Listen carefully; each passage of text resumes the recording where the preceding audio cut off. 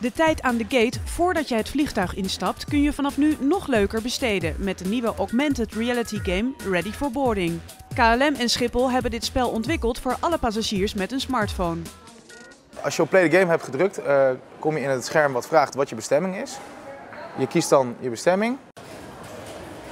Uh, laten we even zeggen dat we naar New York City gaan. Start game.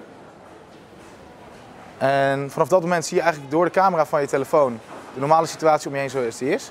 Met de overheen de augmented reality layer die de koffers weergeeft waar de vragen in verstopt zijn. De koffers in de augmented reality layer, uh, als ik een koffer aanklik, dan komt de vraag die daarin verstopt zit naar voren toe. Het spel bevat vragen over 10 KLM-bestemmingen. Bij iedere bestemming zijn er 10 virtuele koffers te vinden met specifieke vragen over deze bestemming. We hebben voor deze nieuwe technologie gekozen zodat de passagiers op een inspirerende wijze aan zijn reis begint en dat hij eigenlijk al op de plaats van bestemming is terwijl hij vanaf Schiphol vertrekt. Actually, it's quite good. It's quite good. Really interesting. Can help people to learn things. Het slaat erg aan. We krijgen zeer enthousiaste reacties, zowel van passagiers, maar ook van mensen vanuit de industrie. Dus de mensen die met augmented reality werken. En de eerste week is het al ruim 4000 keer gespeeld. Ready for Boarding is nog tot eind 2011 beschikbaar.